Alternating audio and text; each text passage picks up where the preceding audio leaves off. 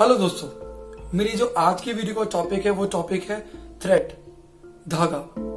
दोस्तों, हमारी ज़िंदगी में पीस ऑफ़ थ्रेड की बहुत ज़्यादा इंपॉर्टेंस है। एक धागे को बनाने के लिए हमें कई फाइबर्स को जोड़ना पड़ता है। और मेरे टेक्सटाइल फ़ील्ड वाले जो फ्रेंड है, उनसे बेहतर इस प्रोसेस को कोई नहीं जान सकता कि एक धागे को बनाने के लिए कितनी मेहनत करनी पड़ती है।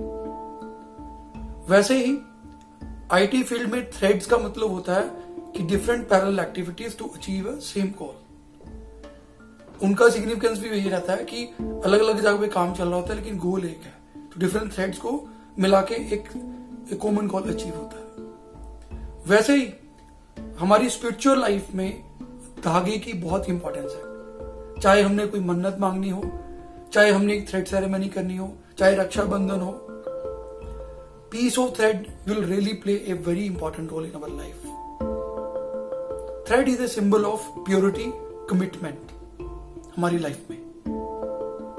अब रिश्तों की तरफ़ लेके चलते हैं, अपनी रोज़ाना ज़िंदगी में लेके चलते हैं। अगर अपनी रोज़ाना ज़िंदगी में देखेंगे तो रिश्ते क्या रहते हैं? रिश्ते धागे की डोरी की तरह होते हैं, जिसमें ज्वाइनेस ट्रस्ट अंडरस्टैंडिंग सेक्रीफाइस ऐसे फूलों को पिरो के एक रिलेशनशिप बनता।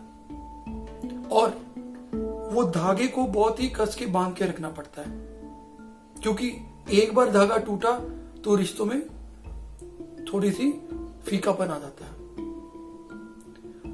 तो दोस्तों, एक और बहुत बेहतरीन इंपॉर्टेंस है इस धागे की।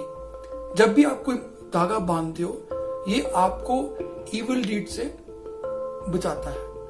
आप गलत काम करने चाहते हो तो ये धागा अगर है आपके साथ तो आपको इंडिकेट करता है, आपको अलर्ट करता है कि जो भी आप करने जा रहे हो, आपके कॉन्शियस के अगेंस्ट है, ये गलत है। तो आपको किसी गलत काम करने से रोकता है तो दोस्तों, इस वीडियो में एक सिंपल सा मैसेज था कि हम लोगों को धागे की तरह जुड़ के रहना है। धागे की तरह वो रोल अदा करना है, चाहे वो कॉमन गोल के लिए हो, चाहे वो रिश्तों को बाँध के रखने के लिए हो चाहे वो एक कमिटमेंट हो कि अच्छे रास्ते पे चलना है। जाते जाते मैं एक शेयर अर्ज़ करना चाहता हूँ। इस प्रेम की डोरी को, इस प्रेम की डोरी को उम्र भर बाँध के रखना। इस प्रेम की डोरी को उम्र भर बाँध के रखना।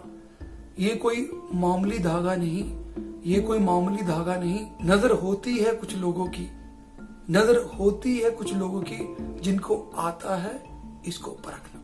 Stay safe stay happy and keep in touch thank you